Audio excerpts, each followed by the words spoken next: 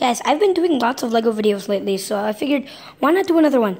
But guys, this is so crazy because the whole inter the internet is going bonkers. Like, like they actually released new LEGO Star Wars 2020 sets. Like they've revealed them, and I'm gonna be expressing my thoughts on those LEGO Star Wars, the new LEGO Star Wars 2020 sets. They've actually revealed quite a lot of 2020 stuff. Like they've revealed trolls, they've revealed um, DC Superheroes minifigure series, which I'm going to be doing a thoughts video of today as well. So many videos to be uploaded today, but I'm going to be expressing my thoughts on the new 2020 uh, Lego Star Wars sets. And I, as you can see, there's there's a whole lot of them, and it's pretty crazy. And how there's so many already out. Like here, for example, we have the new 2020 Rise of Skywalker, Poe Dameron's X-wing, and there's also the Duel Mustafar um, Skyhopper, and Bantha microfighters. You got the Sith TIE Fighter or the TIE Dagger, and then a microfighter Kylo Ren shuttle. That's not even all of it. And honestly, these sets, um, the X-Wing is fine. I mean, it's so beautiful. It looks really, really nice. I just, I don't know, it just feels very repetitive with these new 2019 slash 2020 waves. And it just looks kind of weird with the blue. That's just my thoughts. The duel on Mustafar is incredible. I mean, it looks pretty cool. Like the minifigures, the minifigures look really, really nice. Um, which you get Obi Wan and Anakin, and of course, it recreates the iconic scene in Revenge of the Sith. Sorry, because I don't really have quality quality pictures, but these are pretty cool. It's a pretty cool set. This set is fine. Um, the T16 is fine. The Bantha looks kind of weird. Overall, not really that nice of a set. The Sith TIE Fighter, aka the TIE Dagger, It's a really, really cool set. I actually have another picture of it, um, which I'll show you in a little bit. But it looks pretty nice, and it's, it's not redundant because I never made a set like that, so it seems pretty cool. Honestly, it's really, really cool set. And this one's really nice because we never got like a shut, we never got Ren's uh, shuttle in microfighter before, so we can, that, that looks pretty nice. Let's go ahead and see some other new sets.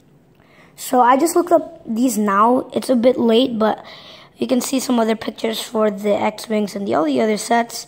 Oh, here it is. There's also a Obi-Wan's hut and um, there's an Obi-Wan's hut. And what the heck? What's this? Okay, I hate this tablet. There's a new Obi-Wan's hut set which seems pretty cool. Looks pretty cool, actually. The minifigure is pretty cool. It just looks like the Mos Eisley canteen, which is kind of weird. And there's a Luke's Land Speeder set with some pretty cool minifigures. And this one is, honestly, I don't know, the this one's pretty cool. Um, I just think it's a bit redundant because two years ago they actually released a land speeder, which I have. So it's pretty much pointless. Like you could just wait in another year, but honestly, it's pretty pointless. And that Obi Wan's hut looks pretty redundant with like the Mos Eisley Cantina, but still pretty nice set. Pretty, pretty. I guess it's worth getting. If you got, I guess it's worth getting. Maybe I could get that if I wanted to. Here's this other picture for the Sith TIE Fighter, by the way.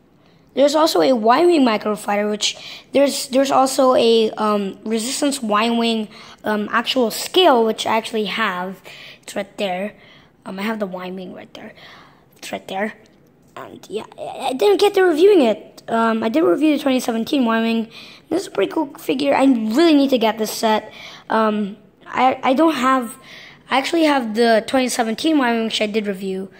I wish I got those Rise of Skywalker sets. I don't have the Y-Wing. I have all the Rise of Skywalker sets except that Y-Wing and the Millennium Falcon. Man, I'm really desperate to get that. But yeah, seems like a pretty cool set. Yeah, and then you also got a pretty rare minifigure, which is pretty nice. Looks pretty cool how you get a rare um, minifigure, actually.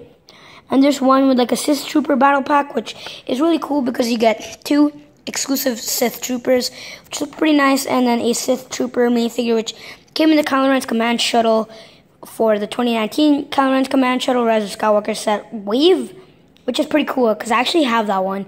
Just never got to reviewing it. And the build itself looks kind of like a microfighter snow speeder, so it's still pretty interesting. It's still nice, but it's not really that interesting. It's still kind of interesting, um, but yeah, the rest of the stuff isn't really that um, cool, but got some nice figures, but I don't know, the overall, the overall set itself is kind of bland. You also have a Mandalorian Battle Pack, which is incredible. This is incredible because this is actually the only Mandalorian set we've ever gotten. Or the the this is like the second Mandalorian set we've ever gotten. Which I have that man the other Mandalorian set. I just didn't build it yet. I got that yesterday. I just haven't built it yet. The four figures look really beautiful. They're so colorful. They're really incredible. These figures look really cool, honestly. And yeah, it's pretty cool, and it's pretty worth. It's pretty worth buying two of because these figures are really cool and probably will just stay exclusive to this battle pack. But that's an this is just a beautiful wave so far, guys. I think that's it. I think that's it for these 2020 Star Wars sets. Maybe there'll be more in the nearby future. Who knows? But we'll see you guys next time if there are any more new releases. And if there are, I'll keep you guys informed. Stay tuned for later's episode of the new incoming Lego Star Wars. Um, I mean, Lego DC Superheroes um, series thoughts. That's it for now, guys. Peace out.